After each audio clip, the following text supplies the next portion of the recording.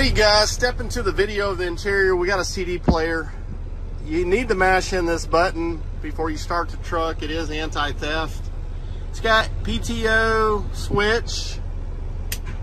I do hear something engaging. Inter axle lock, air suspension dump. It's got cruise, power windows, power mirrors, power locks.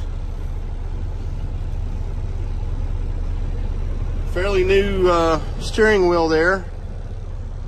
Fairly new driver's side seat. Guys, we're showing 198,000 or 196 848 on the miles. Um, that's also the fleet miles that the that the fleet sent us. You got 17,371 miles. I can't guarantee the miles on this truck. That is what the ECM says is right around that 196, 848. Um, and that's the miles that we're going to list. That is the odometer miles. That's a manual 10 speed.